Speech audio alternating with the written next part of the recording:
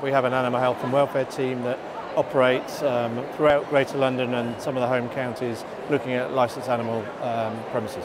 Uh, we were talking about whether we should have large-scale commercial puppy breeding.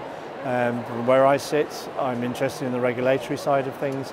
I think the new regulations are written as a catch-all, um, so you get home breeding in it's almost domestic premises, all the way to large-scale commercial. We were looking at the, the thorny and quite wicked problem of how we provide sufficient numbers of puppies to meet existing demand in this country. There are welfare problems of large-scale puppy farming and how do we weigh those welfare problems against the existing welfare problems in the supply chain or should we just argue for something better altogether uh, take a more purist view that dogs deserve better.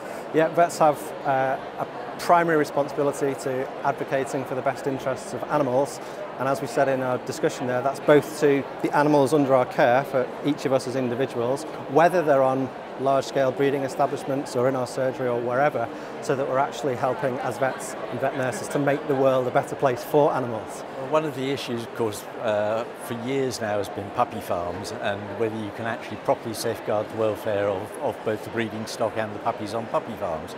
But actually, if you look at the number of puppies that we need a year to simply complete the demand going so that we're, we're producing them, uh, you need some sort of large production process to do it.